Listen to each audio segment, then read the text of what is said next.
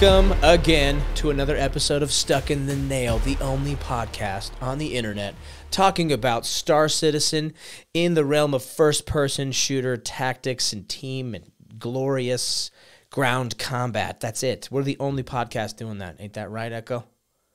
Yeah, and occasionally sometimes going hard digressing on Discord, but yeah. Oh, yeah. Oh, we'll, we'll talk shit on all your voice platforms. We don't care. well, thanks for again for tuning in, guys. This is episode 10. We got some good shit for you. Um, again, thank you. Thank you for if you're watching and if you've watched all 10 episodes, thank you. If we had like um, awards to give, like merit badges, you would have the 10 episode watched merit badge. Uh, but we don't have those.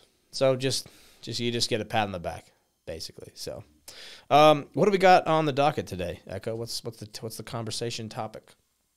Well, we're going to round out our most popular episode about communications and talk about a little bit uh, information about communications pertaining more to Star Citizen and less about the communication platform. So we're moving away from that and moving into like how that applies inside the game, uh, what that means, what that looks like, why it's important.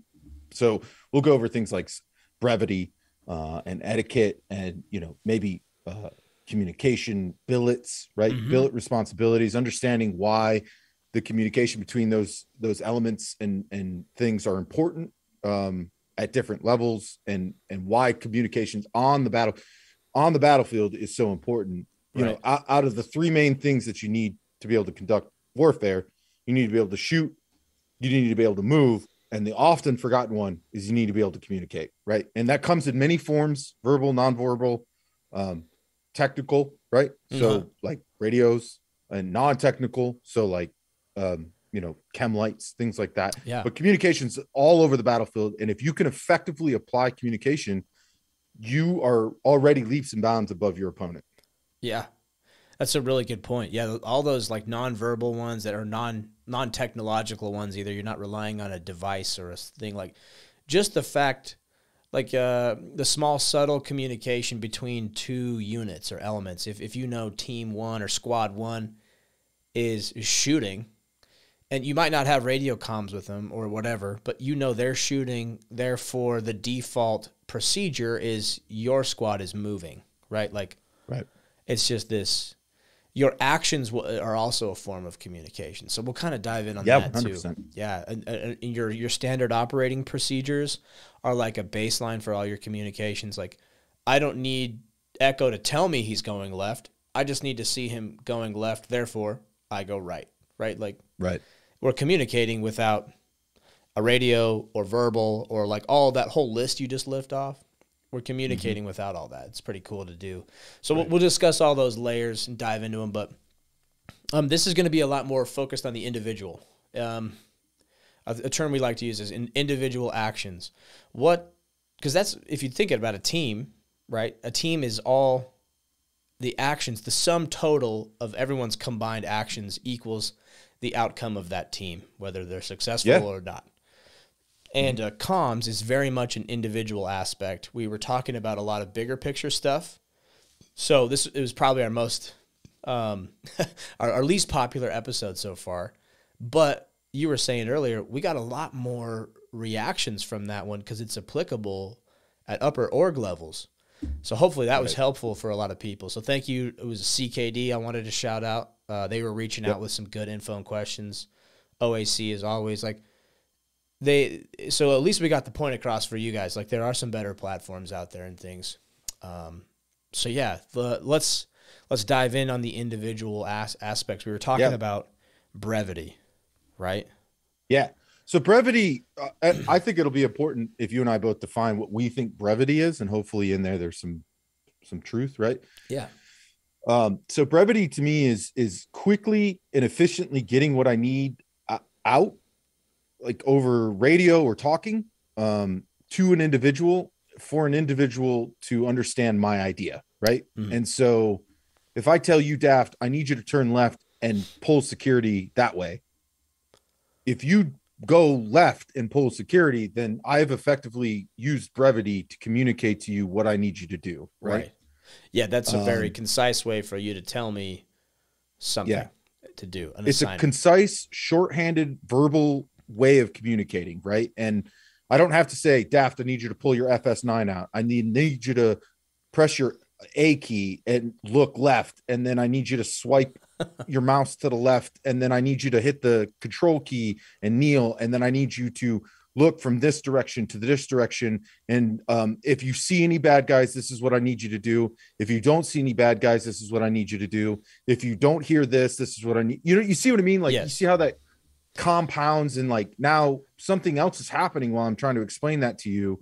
And that individual that needs to get his information across can't Mhm. because I'm I'm clogging up the the, the network, right? Yeah. so brevity to me is daft look left pull security Yep. you already know how to look left that's easy and based on your terminology within your org you know what security means right Right. and so so it's like a it's like an agreed upon set of terminology and brevity or the word abbreviate right? Brev. Uh, i'm not a doctorate. I don't have a degree in anything. I'm not an intelligent person but i'm pretty sure those that those go back to the root word in latin of, of something right? So abbreviate and brevity are tied together. So i kind of think of brevity as you're abbreviating your instructions and you're using that on a, a set of terminology that your entire group has agreed upon. Because every unit, if we're getting into real life, like every unit has a little bit different terminology for stuff.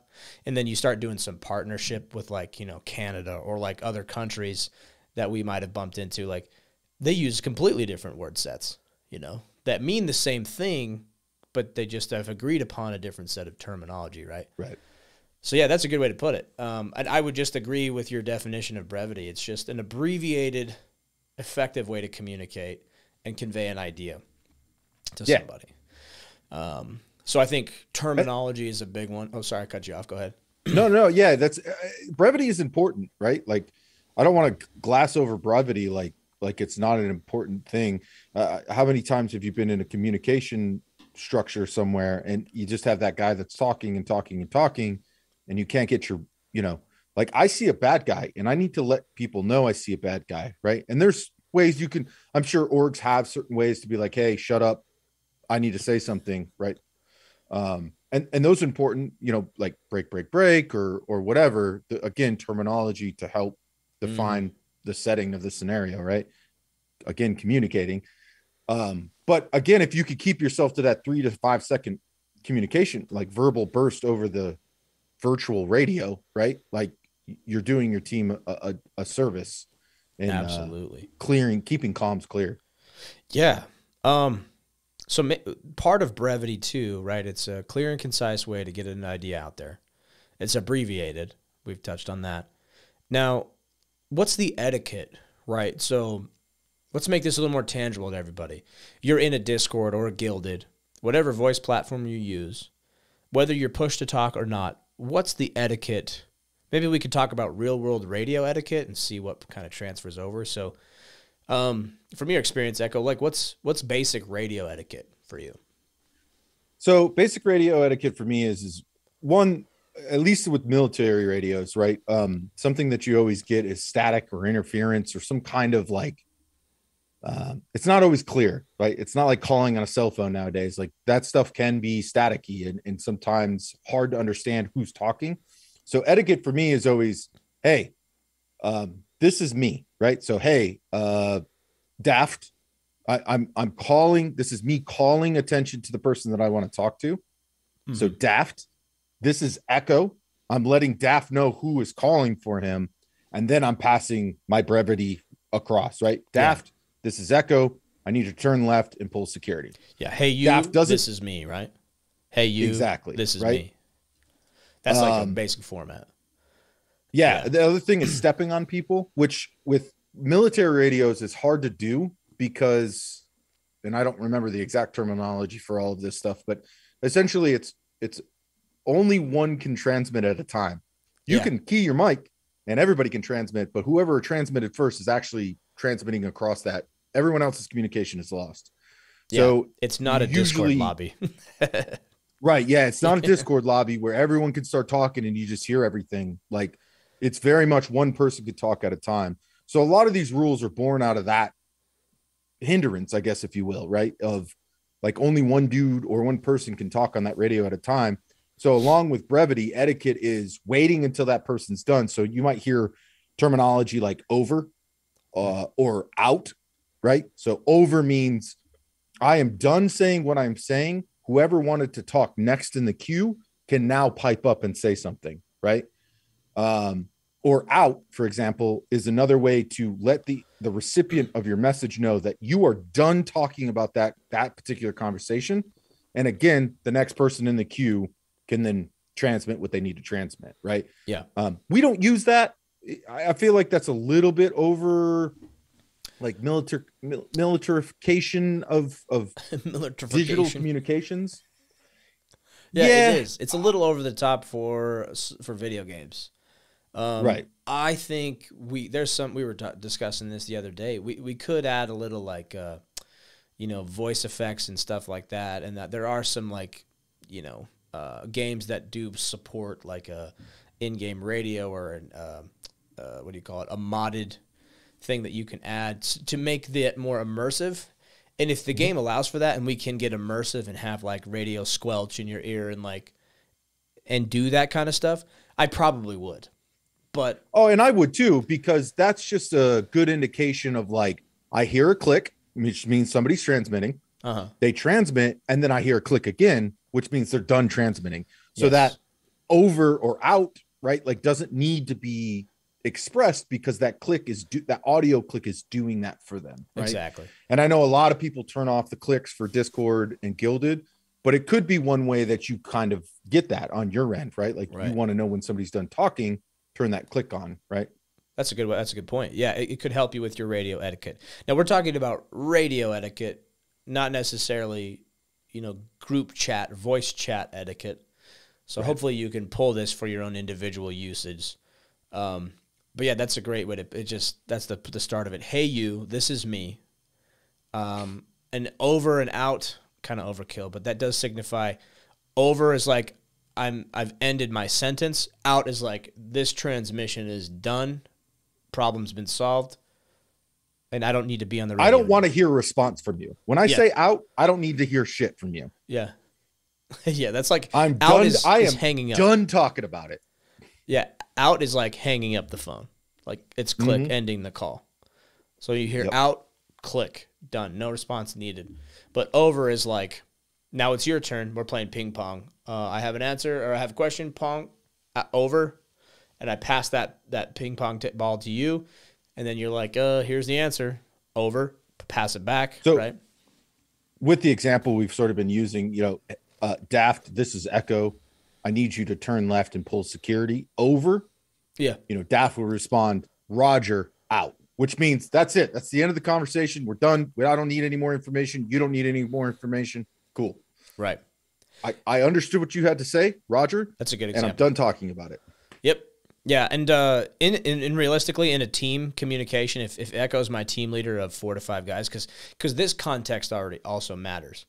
If Echo was like a battalion commander and I was running an, a company of like you know a hundred plus people, then then it would be like Roger out, done. So now I, I can go lead my hundreds of people and he can go lead his hundreds of people, right? So, but if it's like in a team where Echo's my team leader and I have two to three people, like with just a small group of four or five, if he says, Daft, I need you to look left and cut, pull security, and I say, Roger, we're probably going to be on a Teams com. I don't need to say over and out. like it's just a small group of people, and we're going to constantly be talking. So it's never really out, click. Like I'm not going to out and shut off, like take my radio headset off, you know, like. So the context of when you say these things matter too. So just so you're not confused by that example, if you're listening to this, it is a great example though. Like uh, out means like I'm done with you. Don't talk to me again unless you need to talk to me again. But if you're in a small team, that's a continuous flow. I would even argue you don't even have to say over with a team. You're just like Roger.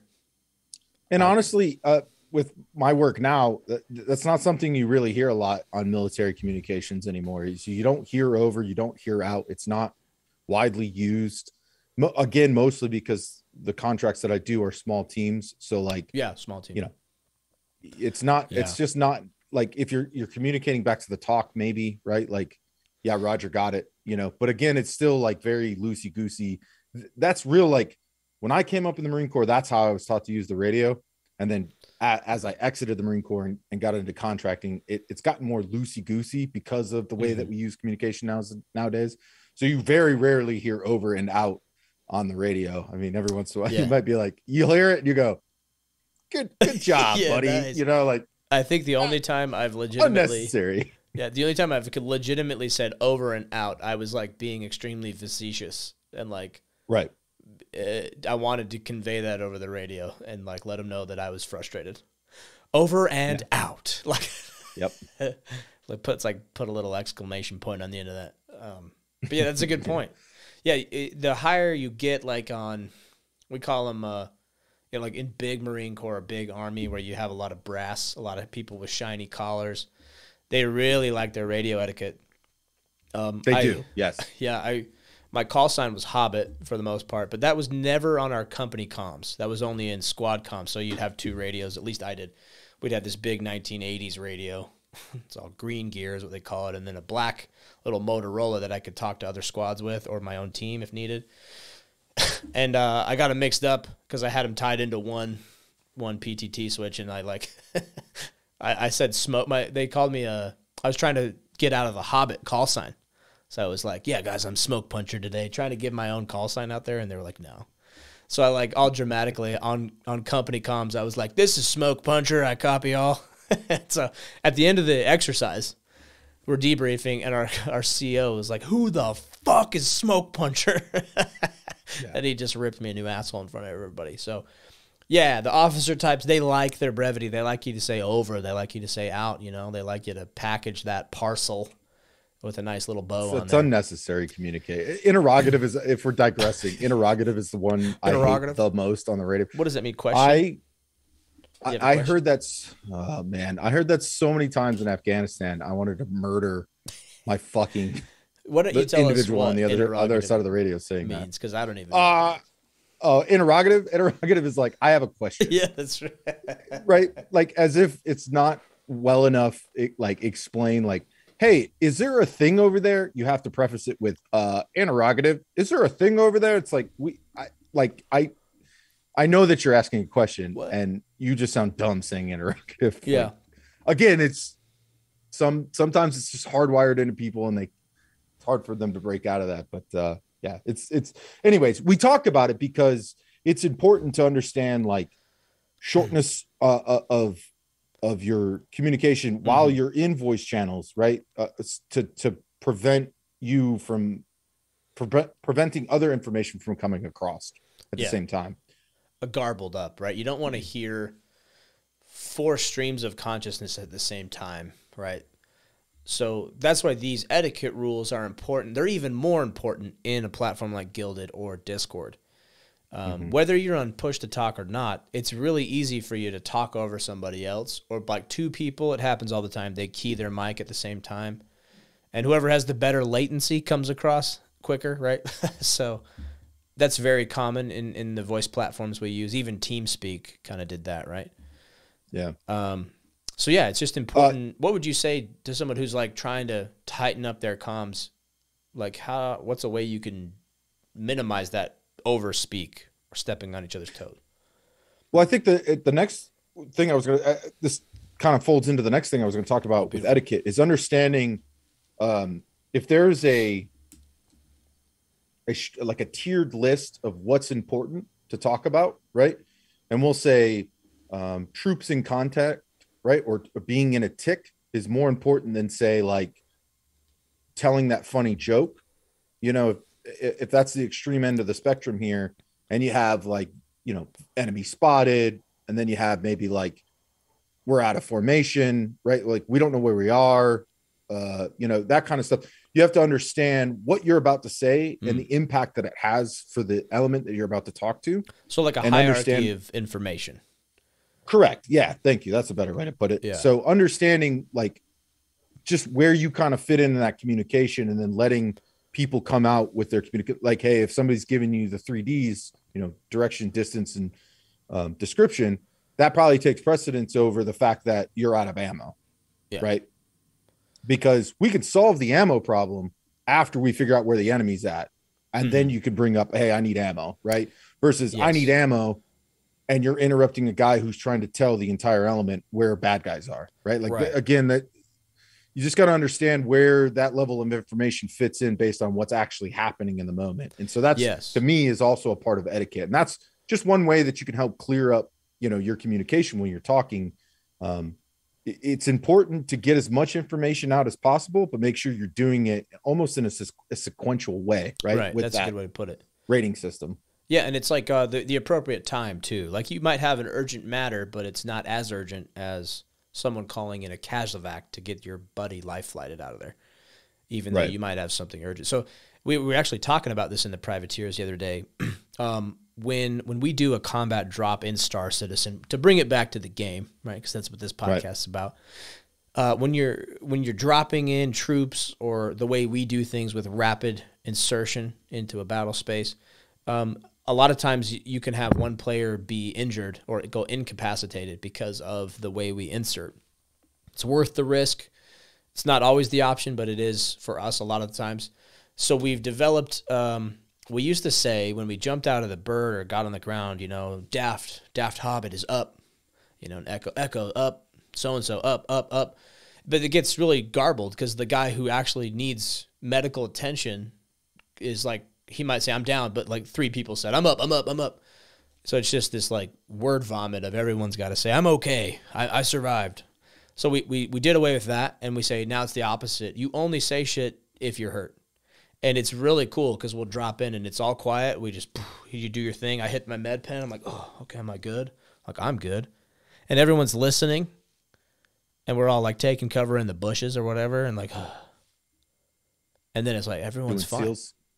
Yeah, doing Yeah. sills. Yeah, right. It's like it's all part of the communication. We're keeping the com the com line clear for urgent matters Correct. is is is important there. So, and then it works too. So we had you know Chankov one time. It was like Chankov down. No one hesitated. There was no second guessing. There was no wait who who said that what. It was just Chankov down. So our designated medics, our combat lifesavers that we talk about, like they could just go get him, you know, get him up because he was incapacitated. And the important part there is that the lack of communication, right, is Mhm. also communication. Yes. By you not saying anything means you're good, right? Mm-hmm. And that's just an assumed terminology, if you will. Like silence is means good, right? Saying something means something, right? And you're being specific about what's wrong. Yes. So Great again, point. everyone's still communicating. We're just not physically communicating verbally with with voice that I'm okay. By me not saying anything means I'm okay. Yeah.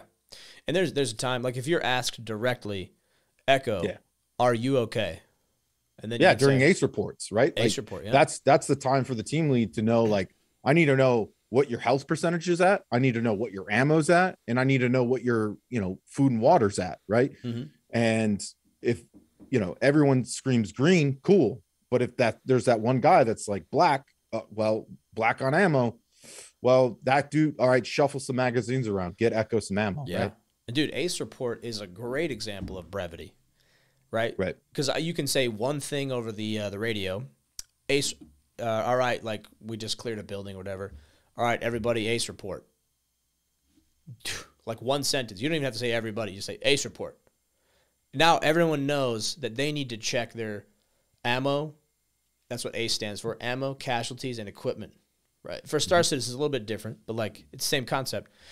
Like, w- how much ammo do I have? Am I hurt anywhere? Do I have the equipment needed to con- finish this mission, or Yep. not? Did I lose it? Did, oh shit! On the drop, you know, like paratroopers in World War II, they were like losing all sorts of gear. Right. I lost my rifle. I lost my the I lost the bazooka, Sarge. I don't know where I was, you know. so like shit like that is important, and that's a brevity. That's it. It's an agreed upon terminology that everybody knows what to do, like that. Yeah, an ace report is cool because it it it in, in it, it it in- what's the word I'm uh it initiates an individual action, right? Yeah. So if I'm the team lead and I say ace report and Daft goes, okay, that means I need to check my body. I got no bullet holes. I need to check my ammo. Okay, I got half my mags, and I need to check equipment, right? I have the binos. Uh, if he responds back half on mags, or he, you know responds back daft half on mags, then I know if I, you know, the next guy calls, hey, I'm 100% on mags. Hey, you know, Chenkov, give daft a couple of mags. Sure. So everybody's equaled out.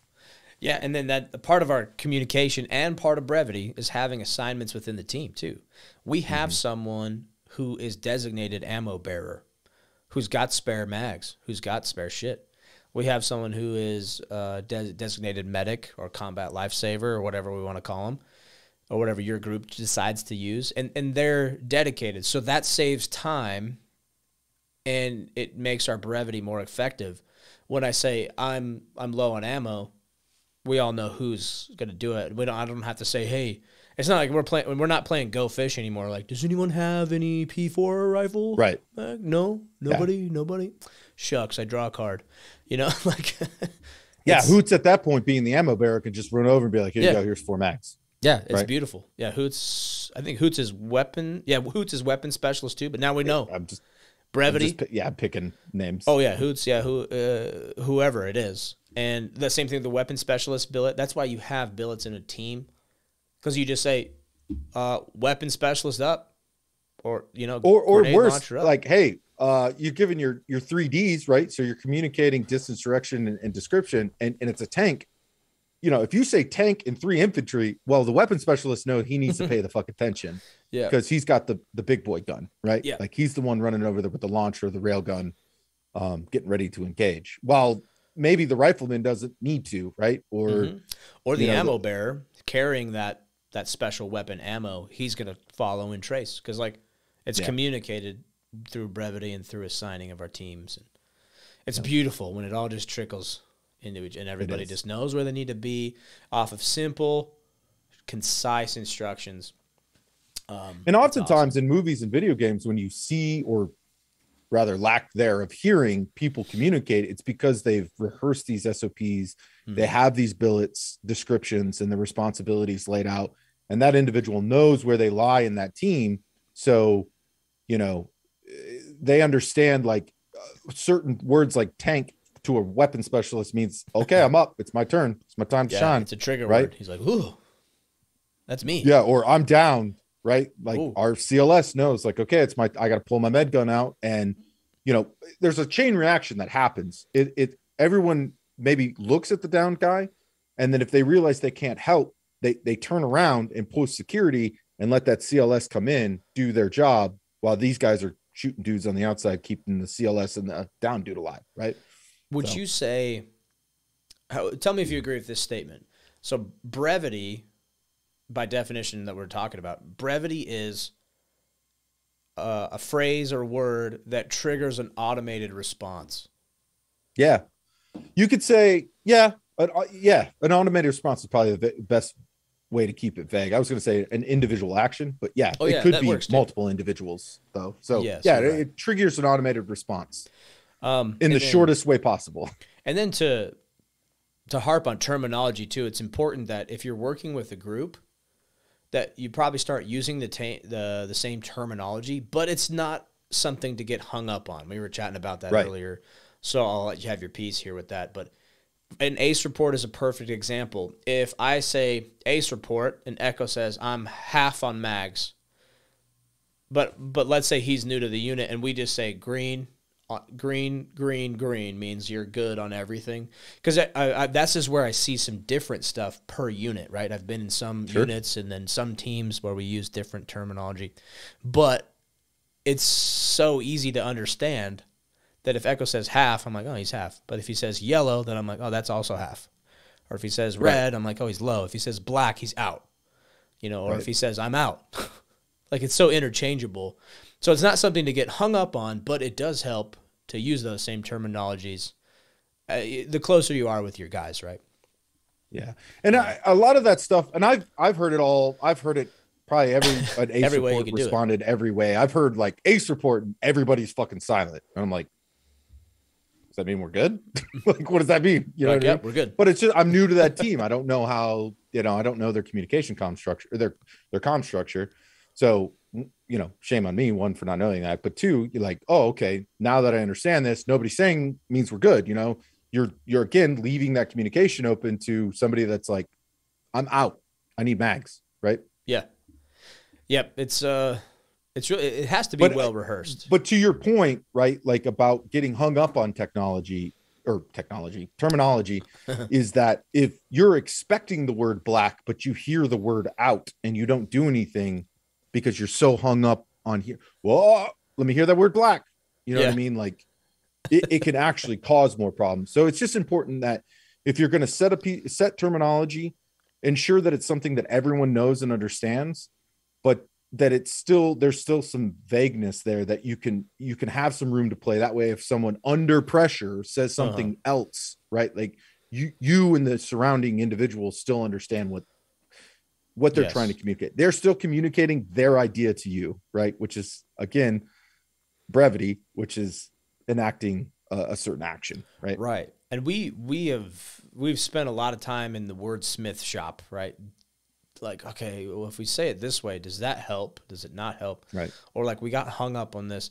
So in, in our previous org, I don't know if you remember this, uh, but we we when we were figuring out our IFF, um, how to identify each other and not shoot each other, right? We came up with the colored arm systems that we've talked about before. So we had red team or red arms and blue arms, right? So red and blue. But for some reason, everyone around us wanted to call them Alpha and Bravo.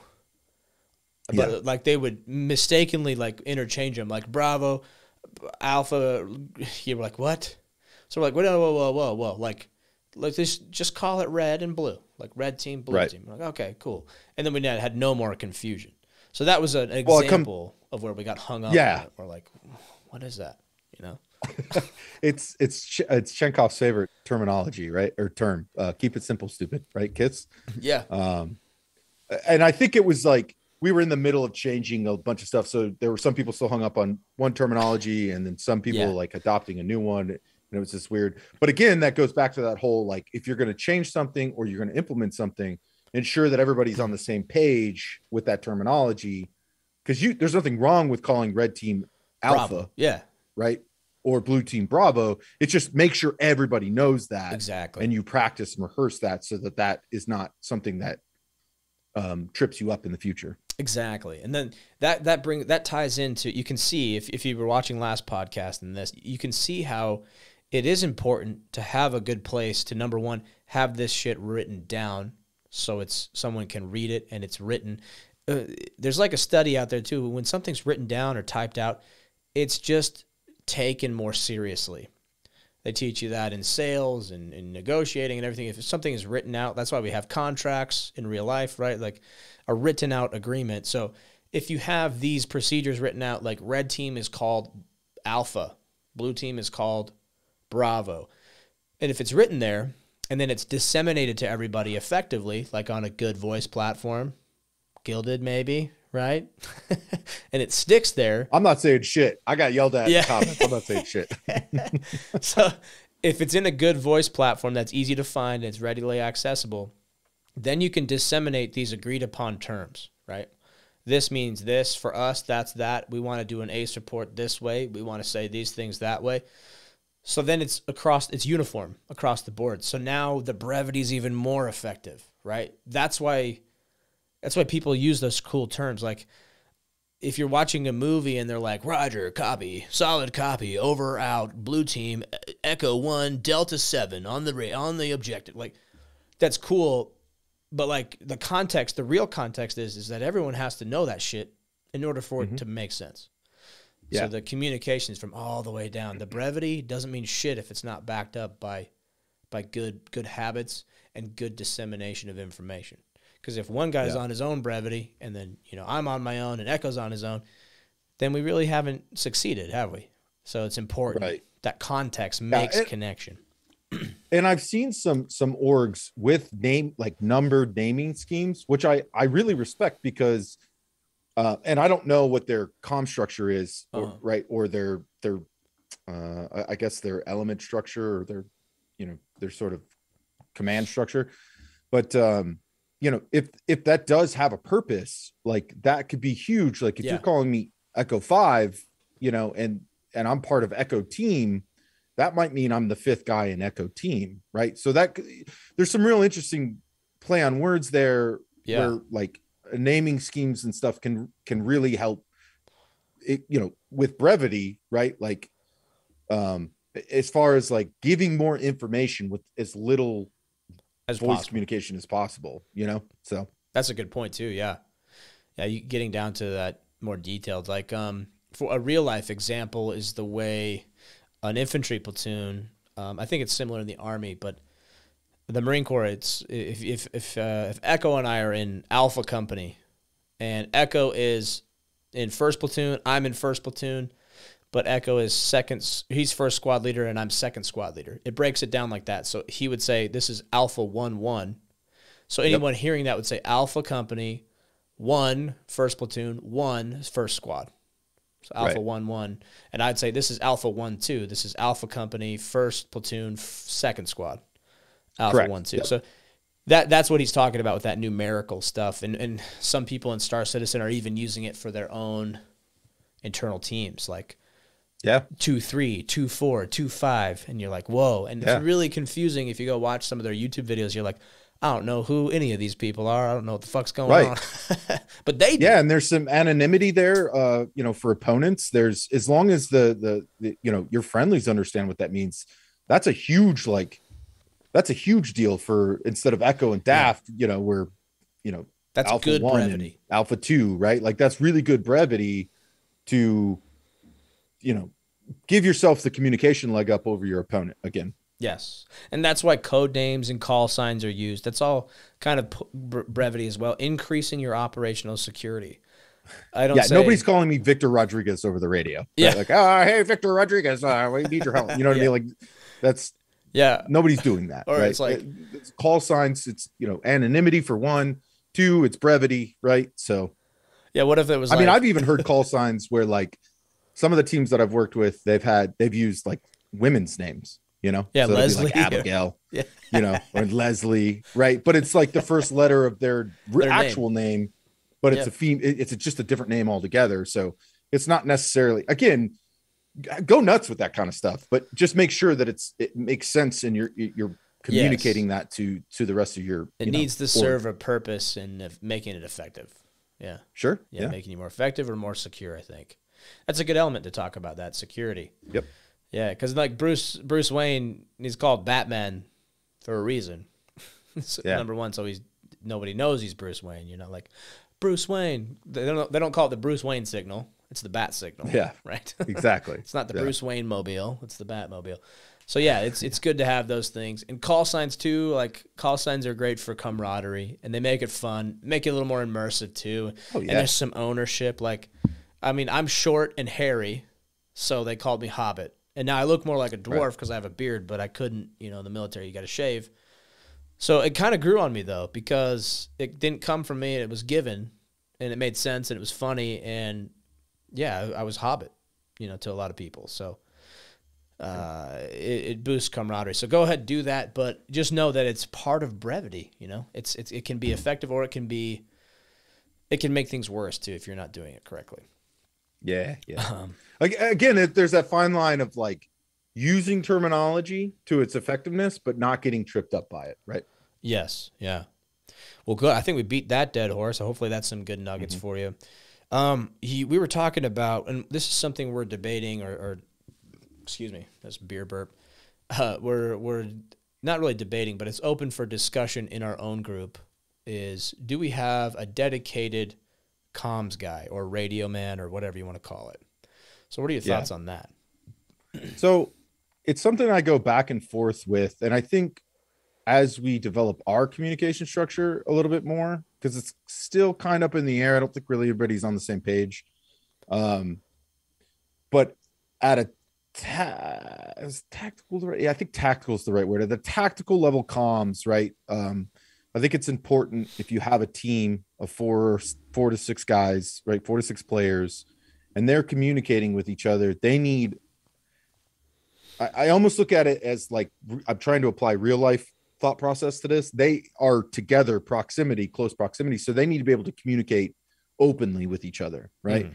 And so we move those, tho- that team into its own sub channel in Guilded, Right. so they can have that. Uh, they they're not interrupted by anyone else but who's in, inside their team. Then, since we have two teams operating, right? They're in their two little sub channels, their two sub channels by themselves communicating. They have to have a way to sort of crosstalk.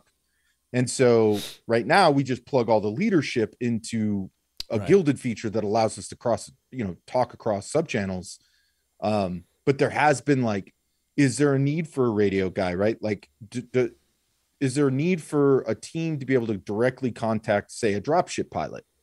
And is that something that the team leader should be worried about, or is that something that the team leader can direct somebody to ask about, right? To sort of Yeah. spread some of that responsibility of the team out a little bit, so it's not one person doing all the work, right? Yeah. on a tactical and operational level. So we, we discussed that. We've also t- discussed like a loose JTAC, right? Like somebody who Mhm. has direct communication with a pilot who's doing a CAS run or some something along like a CAS mission or something like that. Um, so it's just Mhm. something that we're kind of talking about. Is that something that maybe it, they're in their own radio channel and somebody could switch to? You know, how does that work? Yeah. Are there keybinds for Guilded to make that happen? So it's just. I mean, just to give you guys a little peek on what we sort of talk about when it comes to communications, it's it's that level of is this working? okay, let's try it. Nah, I didn't really like how that works. Uh, let's try this. Okay, yeah, that worked, but I didn't like this part of it. So you know, it's a, it's an always tweaking thing for us. Yes. Um, I, I'm still uh, up in the air about it. Like I don't Right. know if it's necessary, right? Like that's very World War II like, where there was like a radio operator and the commander would walk Yeah. over and be like, "Send this to command," and then he'd go back out and like, "Command, command, Yeah. command, command," right?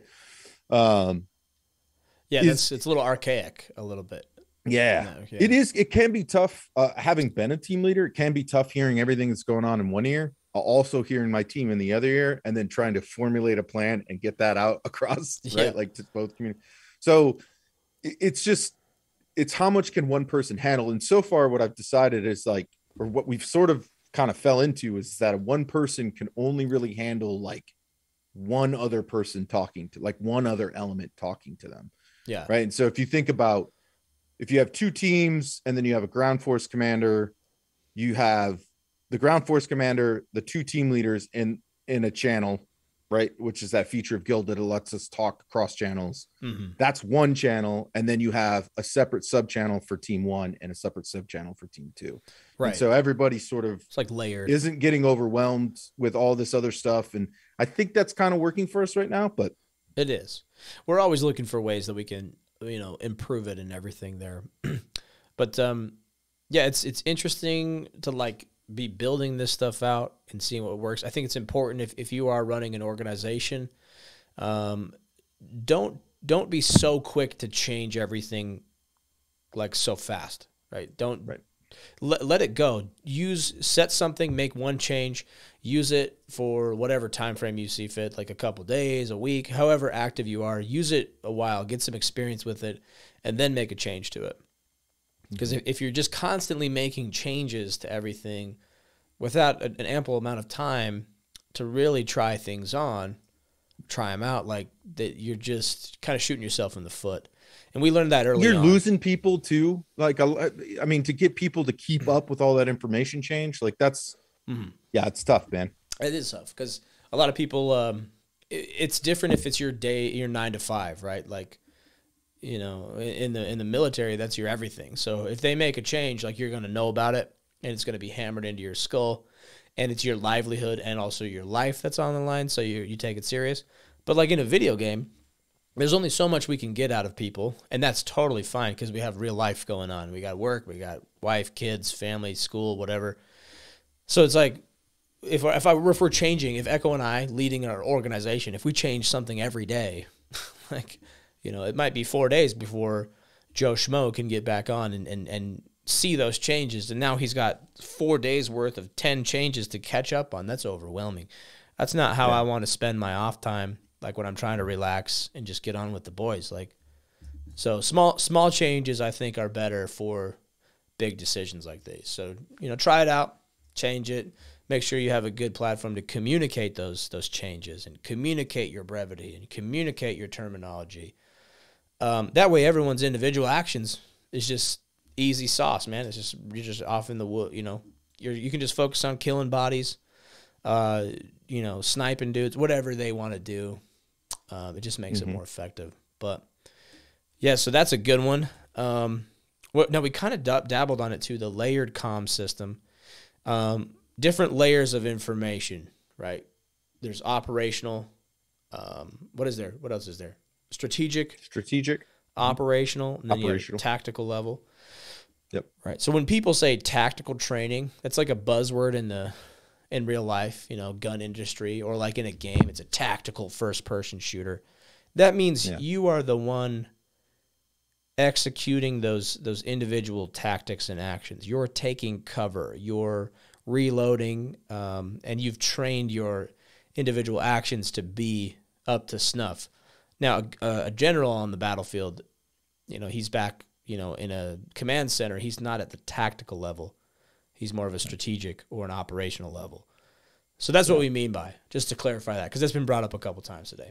But Well, yeah, and so to put that in game perspective, right? Like that's the difference between like Battlefield, which would be a tactical shooter. You yourself, the player, are doing the reloading and moving and shooting, right? the tactics. But then on a yeah, the tactics, right? Implementing those tactics, and then you move to something like operational, which I you you can kind of get in the game of squad, yeah, which is you know ensuring that supply lines and logistics are getting moved and things like that, and then I'm Yeah, you're right. Like a no, it's so like, yeah, would you say so? I always say this is my phrase I'm coining, and I've said it a thousand times, a couple times on here. But getting guys, getting personnel, like getting in the right place at the right time with the right equipment, I would. That's Yeah. like operational, right? You're, yeah, that's yeah, operational more logistics. eh, to to an extent, and then strategic is that just big picture, right? Like Yes, I need I need this team to go here and do this action. I need this team to go here and do this action. And then that's it, right? At the operational level, there's some dude making sure he's got a C2 to bring in all the ships for the, you know, the the, the ground vehicle team, you know, and then like there, there's another guy for the the actual ground team that is like making sure that they've got a drop ship to Right. land the, the troops. And then you then you kind of zoom down to that tactical level and that ground team, right, is the one that's kind of like, okay, we're going to breach this door. We're going to shoot all the bad guys. Yeah, we're gonna take then- position here. We're gonna cover behind this rock. Like this is and- Right. And, then you got it down to the individual. Like I'm gonna take cover behind this rock.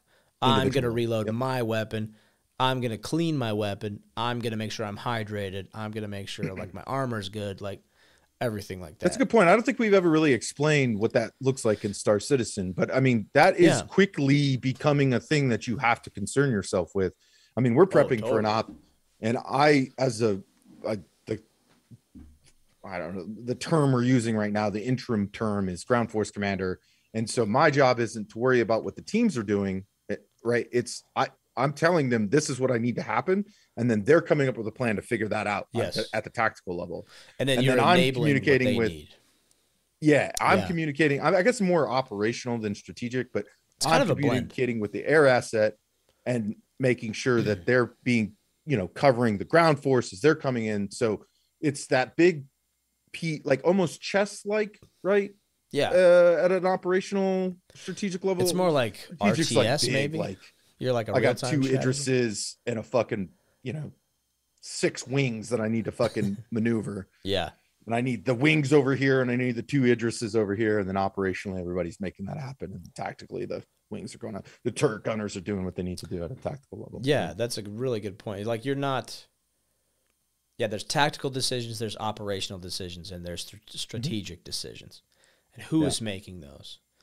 So Right. that's important. That's that's all part of uh, your comms plan. This is they go pretty much hand in hand. Would you say right? Your comms, uh, because they determine who's making the, the type of information you're going to pass to what element. Yes. Yes. So if you're at the tactical level and you need to tell, you know, the other team over there that some guy is running towards them with a bomb on his chest or like that there's a guy sneaking up behind him with a grenade launcher, that's a tactical level comms. That's happening now, right? It's quick, it's fast, it's right there.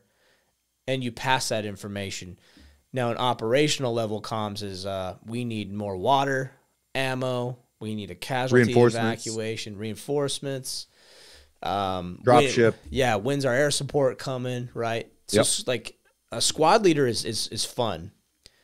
Position Yeah. to be in in any game or in real life. Like in Star Citizen, it's fun because you're out there, you're getting dirty with the dudes. You're kind of crossing over between tactical decisions and also uh, operational. But you you lean towards operational, and you let your your team leaders like they're the ones doing the tactical decisions. Like, hey, we're defending this position. Put your machine gun here. You know, put grenades in that building. Like it's it's way. I want to make. I, I want to be very clear. Like I probably fucked up all those definitions, but in my mind, that's how that that layered sort of combat system works. Right? It's not just Battlefield where everyone just runs around doing Yeah. tactical level stuff. There has to be somebody controlling that chaos. Whereas in Battlefield, you can't. You don't need that. Right? It's like the game does all that for you. But in Star Citizen, you need to have your drop ships and you need to have your air cover coordinated and you, you know so there needs to be somebody at those levels coordinating all that stuff Yeah. uh, while the tactical level guys are doing their tactical level thing Yeah, very well said. And like, if, if you're re- if you're listening to this and, and you got a second, go ahead and type in the comments if what we just said makes sense, or if you have questions about it, because uh, I, this stuff is like a whole nother episode we could do on just that, and and hopefully that's helping you out if you're in a position to you know run an org or grow an org, or if you have a small group of guys. Um, we're hoping to help condition your mind just to to to build on these things, so things start making sense for you um, and then just enable more teamwork is what we want to do. Just enable Yep. more ground combat in the in the verse is the main Yeah. goal here. That's all we I- want to do. the best the best thing that can come out of this is that we get to fight really really good orgs I, Yeah. honestly at the end of the day like that's i want to fight orgs that think like we do you know Yeah. and so if we can pass that information on and you guys take that and apply it and we run across you um, it's it's more fun of a fight if it's not a blowout either way you know Yeah, and then also there's there's a huge element in Star Citizen that's going to come come online when the game comes online, but that's PVE. I hope there's an uh, a constant threat of of alien like incursion upon upon humanity. And I think we'll be able to team up for a lot of PVE games and gameplay there too with other orgs that we know. well xenothreat's a great it- yeah, it's already happening. Yep. yeah Yeah, so I guess not just aliens, but like any type of, you know, NPC style stuff. So yeah, Right. you're right. Xenothreat's already happening, and we've had some awesome experiences. That um, Echo, how how did our comm structure help out Xenothreat? This was back in August, like four or five months ago. How did your comm structure help organize a forty man uh, Xenothreat? uh, Um, what do you call it? oh yeah that's Group. right that was our like one of our first events as a as a community Yeah, um it, it i went really well and what was cool about it is is like it was it was simple enough that i did it wasn't really needed to be it was more like hey just go here and then you'll be able to hear me right like Yeah. you don't have to do anything special um and so uh, the feedback we got from that was quite awesome. A lot of people are like wow that was really good. I didn't have to hear a bunch of people. I could still talk to my guys. But i also knew where i had to be when i had to be there. And then i got to make those sort of you know lower level decisions uh, lower level tactical level decisions on how to enact that sort of direction right? And so we had cargo guys we had search teams we had combat air teams we had infantry teams like and and everybody was kind of doing their own thing uh in in in a 40 man you know it was like 38 people i think 38 40 people yeah, uh, and everybody was able to effectively communicate with who they needed to communicate to. Um, but then cross channel, there was somebody sort of being like, "Hey, I need this." You know, that element would go, "Okay, cool," and then go respond, right? Like, "Hey, I'm sending over these two, and they're going to help you out, or whatever." And there was never this like people talking over each other. It was very well organized, and um, it sort of cemented to me somewhat of our comms. I'm a tinkerer by nature, so I'm always going to tinker, but um, it sort of cemented like the foundations of our comms communicate, like our comm structure. Amen, dude. And, and cemented it did. It's uh, it's firm in place. We're always going to adjust and adapt. But I remember being a dropship pilot during that that that thing, that event, and uh, just holding position. Like in, I think I was flying a Valkyrie or a Cutty. I can't remember, but because we did multiple Xeno threats. So I'm holding, and they're loading the cargo up, and we're I'm talking to them. They're talking to me. Like there was just this like really good seamless information being shared. And then it was like, oh, we started getting hit. Choo, choo, choo. And and I remember you were my co-pilot, and so I'm like, hey, we're getting hit, we're getting hit. Uh, like we need fighter support here, and then you were on the horn, and within seconds we had some other some other group. They're not even privateers. Like I think we'd only worked with them once or twice before. They come swarming in and just save our asses, like super fluid. We're like, oh yeah, oh, and everybody was just jiving. That was cool Yeah. to see. And so that's what that comm structure can enable. Um, that's why we're harping on comms again. This might not be our most popular episode because last episode wasn't, but we're not here for that. We're here to give you value to take back to your group. So even if we Yep. help one person out and that helps them structure XYZ, I think that's a victory for us.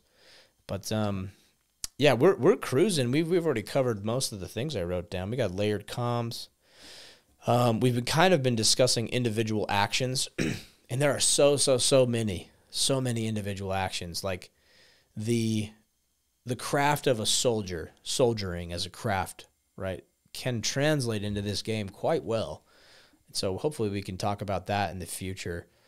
Um, Yeah, I would love to because I think you could do a whole episode of just on individual actions, right? I think and we then could. you know applying you know self defense to yourself, the teammates around you, and I mean it's a whole thing that yeah, uh, within Star Citizen that matters. That's going to matter, right? Like Mm-hmm. right now we do bunkers, and we know we pull up to the bunker, we land in front of the bunker, we walk inside with no like situational awareness whatsoever. We go down the elevator. And we kind of know like there's not going to be anybody in that front part, so there's no situational awareness. But as soon as we turn that corner, everybody gets turned on, right? yeah, But what's to say once you know, um, uh, uh, mesh? Oh my god, server meshing doesn't get turned on, right? Like dynamic server meshing doesn't get turned on, or figured out, or they figure out a workaround for that. Anyways, give more server power to the NPCs that they won't patrol out. They won't have dudes on those turrets, right? They Yeah. won't. So it's like that whole idea of you not having like you just running in by yourself, going into the elevator, going down, killing everybody and coming out. Those days are going to go away. It, maybe not completely, but you're going to have to be, have a little bit more situational awareness, situational awareness coming in. yeah, And so like individual actions are going to matter, right? Like what Yeah. are you doing when you get off the bird? yeah. What how does that help your team? Exactly? What if the NPCs do something different every time, or better yet, PvP? Right. That's when you have. Right. That's that's when the stakes are the highest, I think. And so we try. We I think we can do better as it as a group, as the privateers at least. Um, we try to instill like this, like always. Let's always act like we're PvPing, right? Let's let's hit that bunker with so much speed and violence of action that like anybody who was in there would would succumb to that, and we would be victorious. Yeah. So that's well, it's it's also yeah. a way for us to practice some of our t- our tactics too, right? Without scheduling a time to do that, right? Yeah. So it's more, I guess, it's more application of tactics and learning through doing rather than right. hey, from 8 p.m. to 9 p.m. we're gonna do This X Y patrolling, right? But we get patrols in. We we do land out a little bit further, and we do patrol in, and we do change our formations, and we do keep that situational awareness up. So, you know, Yeah. when that happens, we're ready for it. Exactly. And um it's it's really interesting just to like see all of this come together.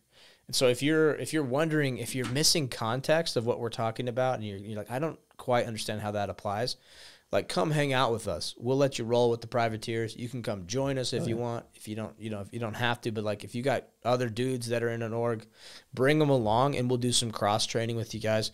We're all about playing the game. Like that's what sometimes I think a lot of orgs forget to do is just play the game.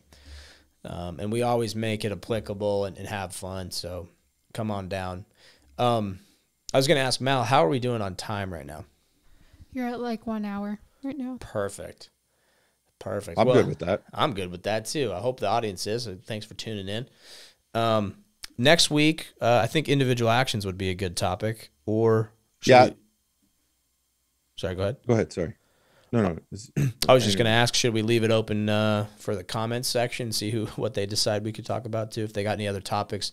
If you have a topic that you want us to talk about, um, or bring it up, or questions, throw them in the YouTube comments, and then we'll get responses out to you. So we're also watching our Reddit and other places there.